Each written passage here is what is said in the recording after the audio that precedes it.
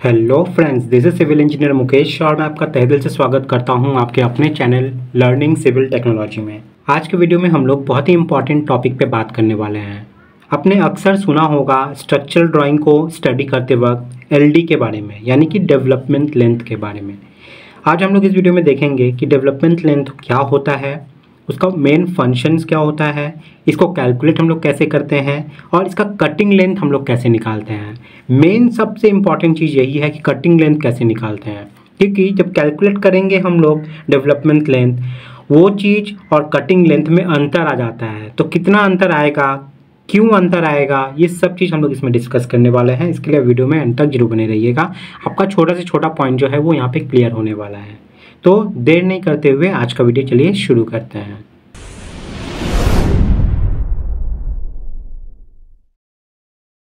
तो सबसे पहले हम लोग बात करते हैं यहाँ पे कि डेवलपमेंट लेंथ क्या होता है, ठीक है? जनरली जो देखते हो आप साइड पे ड्राइंग तो ये देखो, ये कॉलम रहती है कॉलम में साइड से आके क्या होता है कि बीम सुपर इम्पोज होता है। बीम क्या करता है? मतलब लोड जो ट्रांसफ़र होती है ना, उसका पाथ क्या है? पाथ क्या है? जनरली देखोगे, जो सबसे पहला लोड आता है, वो किस पे आता है? वो स्लैब पे आता है, यानी कि स्लैब अब स्लैब अपना लोड किसके ऊपर ट्रांसफ़र करता है? बीम के ऊपर ट्रांसफ़र करता है। ठीक है? बीम देखिए, ये बीम है मेरा। ये बीम है। ठीक है? अब बीम अप, वो लोड लेके किस पे ट्रांसफ़र करेगा? वो करेगा इस कॉलम पे। ये जो कॉलम आप देख रहे हो, ये कॉलम पे ट्रांसफ़र कर देता है। तो बीम ट्रांसफ़र करता है कॉलम पे। ठीक है? अब कॉलम अपना लोड किस पे ट्रांसफ़र करता है? कॉलम अपना लोड ट्रांसफ़र करता है फुटिंग पे। फुटिंग पे। यानी कि जो फाउंडेशन हम लोग नीचे बनाते हैं उस पर अब फाउंडेशन किस पे अपना लोड ट्रांसफ़र करता है? वो कर देता है अर्थ पे। ठीक है? नीचे जो अर्थ है हमारा, उस पर उस लोड को ट्रांसफ़र कर देता है। तो इस लोड को ट्रांसफ़र करने का जो ये मैकेनिज़्म है ना, ये कॉन्क्रीट का सिर्फ़ अकेला नहीं रहता है, क्योंकि जो हम लोग घर बनाएँगे, ये कॉलम बीम सब बनाएँगे, ये सिर्फ़ हम लोग कॉन्क्रीट से बनाते हैं क्या? नहीं, कभी भी नहीं। कॉन्क्रीट के अंदर में हम लोग क्या करते हैं कि स्टील को प्रोवाइड करते हैं। कॉन्क्रीट क्या है ना कि कंप्रेशन में भले ही स्ट्रांग है, लेकिन कॉन्क्रीट टेंशन में स्ट्रांग नहीं होता है। इसलिए उस टेंशन को प्रोवाइड करने के लिए हम लोग कॉन्क्रीट के अंदर में स्टील प्रोवाइड करते हैं। तो देखना बीम का जो हम लोग सरिया डालते हैं ना, ऐसे सीधा आके ज़रूर वो कॉलम के अंदर में से घुसता है। ठीक है? ऐसे घुसता है। क्यों घुसता है? क्योंकि कॉलम के साथ बीम को हम लोग बांधते हैं, जोड़ते हैं। हम लोग अगर बम्बू का भी घर बनाते हैं ना तो चार पिलर हम लोग ऐसे लगाएँगे, उसके बाद ऊपर में जो हम लोग बीम की तरह बांधेंगे ना, उसको हम लोग क्या करेंगे, जो खरा खरा कॉलम है, इसके साथ बांधते हैं। नहीं बांधेंगे तो गिर जाएगा भाई, समझ में आया ना? गिर जाएगा। इसलिए ये कॉलम के साथ हम लोग इस बीम को बांधते हैं। तो सिर्फ़ कॉन्क्रीट से भी ये बंध जाएगा, लेकिन ज़्यादा दिन चलेगा नहीं, क्योंकि ये टेंशन में मज़बूत नहीं है। तो टेंशन में प्रोवाइड करने के लिए हम लोग को स्टील अंदर में प्रोवाइड करते हैं।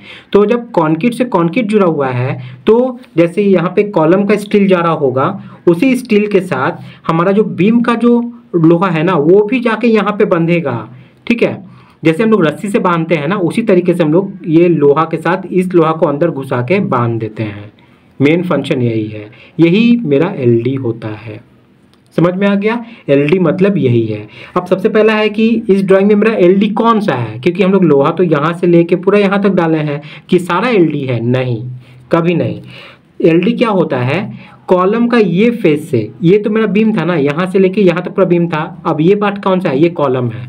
तो कॉलम के इस फ़ेज़ से लेके मतलब मतलब कॉलम के इस लाइन से, ये फेस से लेके ये पार्ट और ये जो अंदर में गया इतना। ये मेरा एलडी है। यानी कि बीम पार्ट को छोड़ के अंदर जितना भी लोहा जा रहा है, वो मेरा एलडी कहलाता है।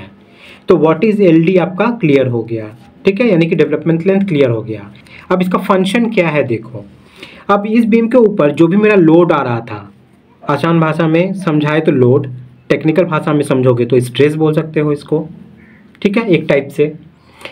तो देखो, जो भी इस बीम के ऊपर मेरा लोड आ रहा है स्ट्रेस आ रहा है मोमेंट आ रहा है, कुछ भी आ रहा है, अब वो सबसे पहले किस पे गिरेगा? इस कॉन्क्रीट पे ऊपर मेरा कॉन्क्रीट है कॉन्क्रीट के ऊपर कॉन्क्रीट ट्रांसफ़र करता है मेरे लोहे के ऊपर में, ठीक है? क्योंकि टेंशन तो यही लेगा स्टील ही मेरा लेने वाला है कॉन्क्रीट नहीं लेने वाला है कॉन्क्रीट कंप्रेशन ले लेगा, लेकिन टेंशन नहीं लेने वाला है। तो जैसे ही मेरा ये स्टील पे ये लोहा ये लोड आएगा, ये स्ट्रेस आएगा, ये क्या होगा? इस लोहा के सरिये ऐसे ऐसे ऐसे जाकर वो क्या होगा कि कॉलम में मेरा ट्रांसफ़र होगा, ठीक है? कॉलम में मेरा ट्रांसफ़र होता है। तो सबसे बड़ा फ़ंक्शन क्या है एल का कि ये स्ट्रेस को स्ट्रेस को ट्रांसफ़र करता है फ्रॉम रेनफोर्समेंट टू कॉन्क्रीट ठीक है? देखिए स्ट्रेस इसके थ्रू आया, लोहा के थ्रू आया और जाके ये कॉलम के जो कॉन्क्रीट था ना, उसमें ट्रांसफ़र कर दिया। लोहा में ट्रांसफ़र नहीं किया है। लोहा में ट्रांसफ़र कौन करता है? जो हम लोग लैब प्रोवाइड करते हैं। जब भी हम लोग स्टील प्रोवाइड करते हैं ना लैब दो सरिया को जब हम लोग बांधते हैं तो उस वक्त में जो स्ट्रेस लोड प्रोवाइड करता है ट्रांसफ़र होता है, एक लोहे से दूसरे लोहे में, वो लैब के थ्रू होता है। लेकिन डेवलपमेंट लेंथ के थ्रू जो हम लोग स्ट्रेस ट्रांसफ़र करते हैं, वो एक लोहे से लेके दूसरे कॉन्क्रीट में ट्रांसफ़र करते हैं, यानी कि कॉलम के ये में। तो यहाँ पे हम लोग बोल सकते हैं एलडी का फ़ंक्शन क्या होता है?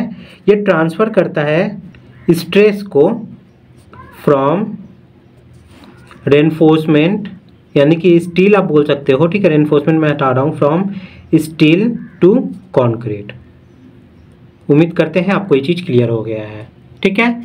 अब नेक्स्ट सवाल यहाँ पे है फ़ंक्शन भी हम लोग यहाँ पे समझ गए अब how to calculate L D development length हम लोग ये वाला पार्ट कैसे निकालेंगे? ठीक है? तो इसके लिए हम लोग एक छोटा सा एग्ज़ाम्पल यहाँ पे करेंगे।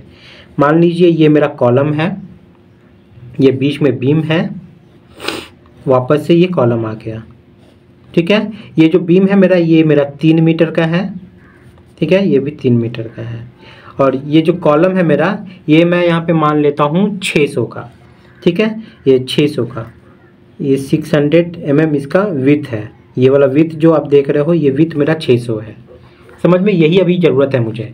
तीन मीटर है तो इसको अगर हम मिलीमीटर में बदलेंगे तो कितना आ जाएगा? तीन हज़ार मिलीमीटर ठीक है? तीन हज़ार मिलीमीटर हज़ार से भाग दे दोगे तो आपका हज़ार से डिवाइड दे दोगे तो आपका वो मीटर से मिलीमीटर में कन्वर्ट हो जाएगा।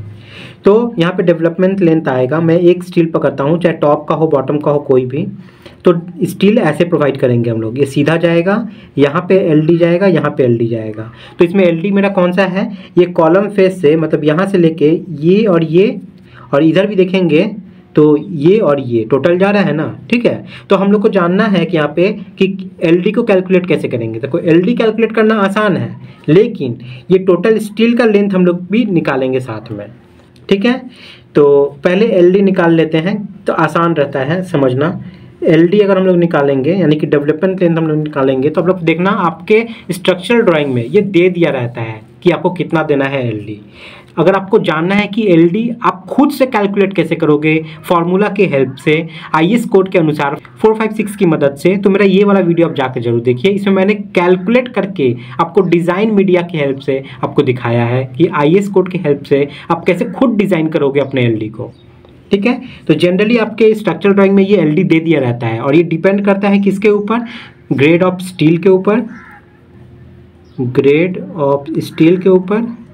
और ग्रेड ऑफ़ कॉन्क्रीट के ऊपर।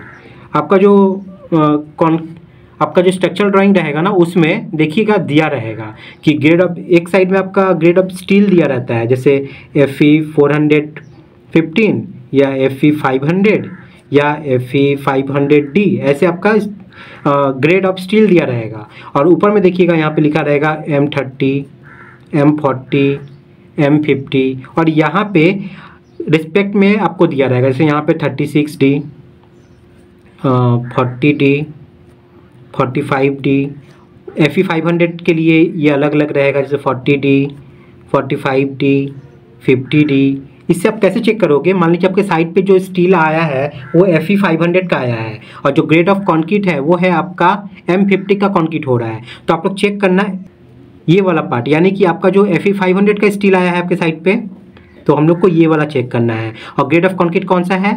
एम फिफ्टी तो आपको ये वाला चेक करना है। तो हमारा कौन सा आया? फिफ्टी डी ये वाला पार्ट समझ में आ गया? इस लाइन को देखो और इस लाइन को देखो, जहाँ मर्ज करेगा, वो वाला आपको पकड़ना है। तो मान लीजिए हमारे यहाँ पे जो कास्टिंग था, वो एफ़ ई फाइव हंड्रेड को लेके है और जो ग्रेड ऑफ़ कॉन्क्रीट है, वो एम फिफ्टी का है। ठीक है? तो इस हिसाब से यहाँ पे कितना आना चाहिए? फिफ्टी डी आना चाहिए। तो एल डी है मेरा फिफ्टी डी अब डी क्या है भैया यहाँ पे? डी है मेरा डाया ऑफ़ बार डी है मेरा यहाँ पे dia of bar dia of bar in millimetre तो यहाँ पे जो हम लोग बीम में ये स्टील प्रोवाइड किए हैं, इसका डाया हम लोग यहाँ पे मान लेते हैं 16 एम mm का, से 16 एम mm. समझ में आ गया? तो चलिए हम लोग ये डाया है इसका 16 एम mm का। चलिए इसको पुट करते हैं। तो एल डी कैसे निकलेगा? फिफ्टी डी है तो फिफ्टी मल्टीप्लाई डाया मेरा कितना है? सोलह एम एम तो इसको आप कर दो, कितना आएगा? आपका ये आ गया एट हंड्रेड एम एम यानी कि क्या है? देखिए, यहाँ पे मेरा टोटल डेवलपमेंट लेंथ कितना है? दो है।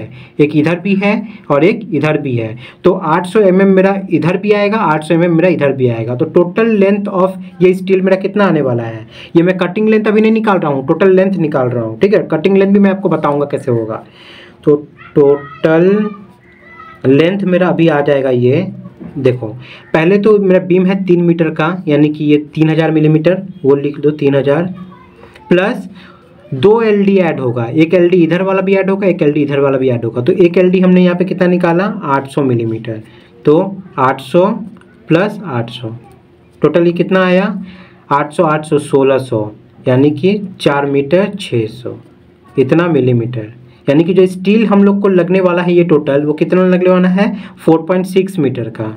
हज़ार से डिवाइड कर देना, ठीक है? लेकिन क्या हम लोग स्टील काटेंगे? वाकई में 4.6 मीटर का? नहीं। समझ में आ गया? नहीं काटेंगे। हम लोग को कम काटना है। चार हज़ार छः सौ एम से कम का कटेगा। क्यों? क्योंकि देखिए यहाँ पे स्टील जो है ना ऐसे बेंड हुआ है। अगर बेंड होगा, इसका मतलब क्या है? स्टील वहाँ पे एक्सपैंड होने वाला है। इसलिए हम लोग स्टील कम ही काटेंगे। कम काट के जब मोड़ेंगे ना तो वो ऑटोमेटिक यहाँ पे बड़ा हो जाएगा। समझ में आ गया? और एक चीज़ आपको यहाँ पे ध्यान देना है। देखिए एलडी मेरा 800 था और कॉलम का विथ मेरा 600 है। तो ऑब्वियस सी बात है, मेरा यहाँ पे ये टोटल 800 सौ mm तो पूरा घुसेगा नहीं, क्योंकि मैक्सिमम कितना जा सकता है? 600 ही जा सकता है कॉलम फेस से। और 600 में भी यहाँ से कवर माइनस होने वाला है। समझ में आ रहा है? कवर माइनस होगा तो तो और कम होगा। इसका मतलब है कि बेंड तो ज़रूर आने वाला है, ये श्योर हो गया।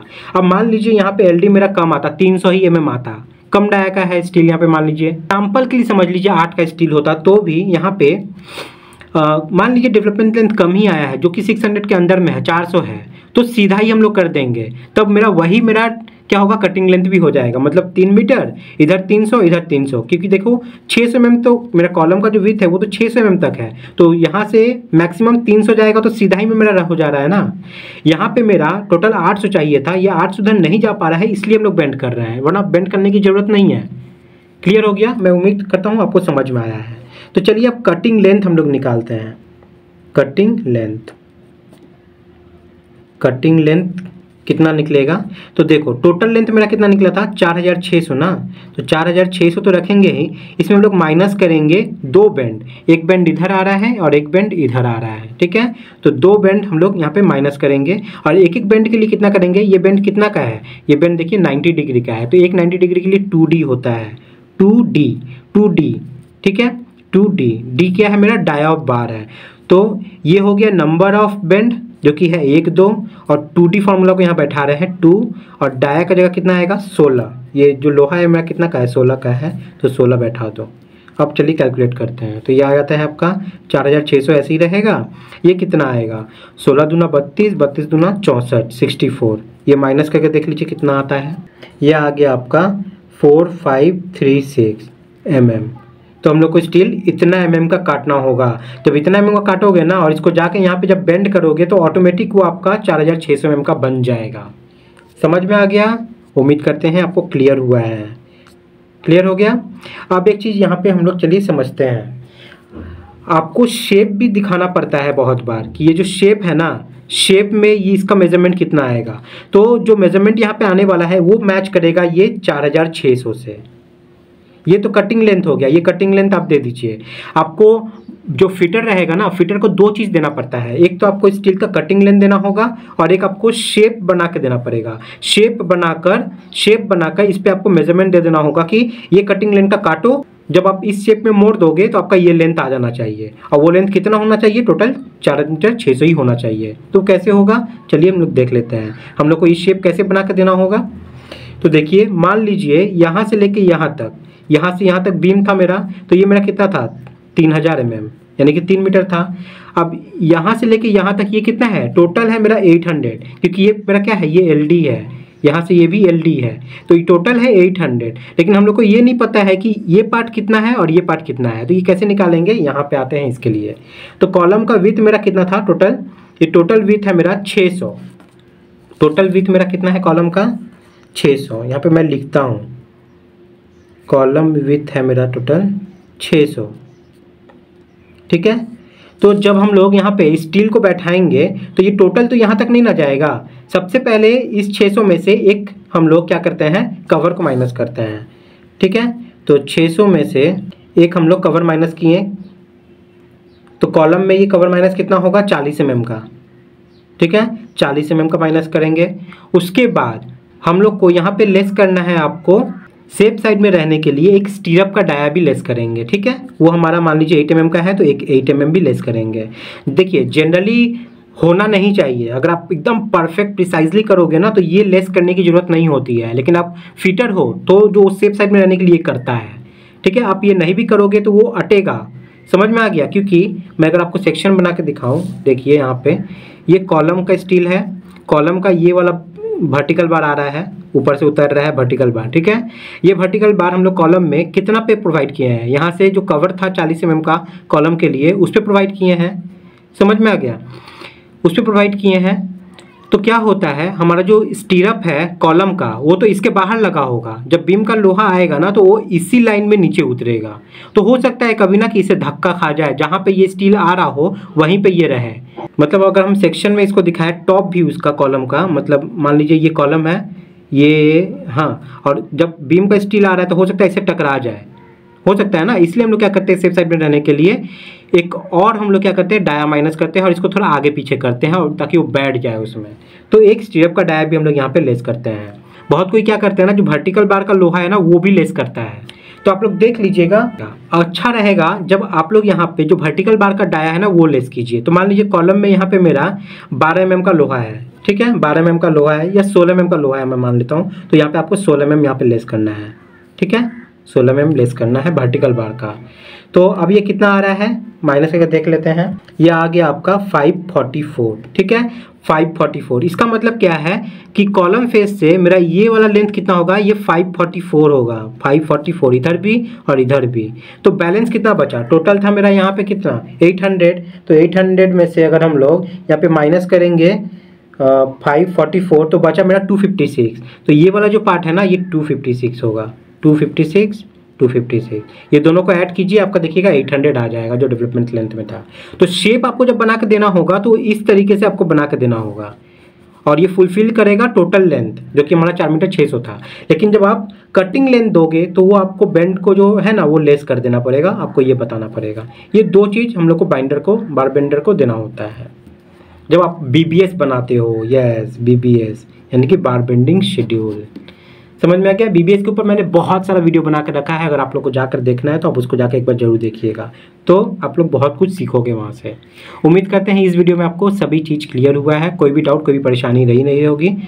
बीबीएस के ऊपर मेरा एक प्लेलिस्ट बना हुआ है, जिसमें बहुत सारे मैंने कॉलम बीम स्लैब बहुत कुछ मैंने वहाँ पे बना बना के दिखाया है। बहुत कुछ आप लोग सीखोगे, बहुत कुछ जानोगे। स्टेयर का भी बेस हो गया।